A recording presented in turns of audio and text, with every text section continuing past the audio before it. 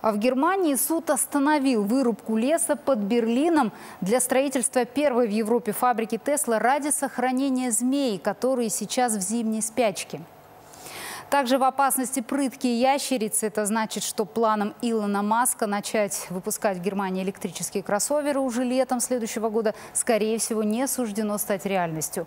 В Тесла пока не комментирует ситуацию. Первая за пределами США гигафабрика, компания в Шанхае, была построена и начала функционировать всего за 11 месяцев. А благодаря заводу под Берлином на машинах Тесла появится надпись «Сделано в Германии». Однако для этого автопроизводителю придется подчиниться немедленно немецким законам. Ведь местные власти перед тем, как выдать разрешение на строительство, обязаны проконсультироваться с экологами и защитниками природы.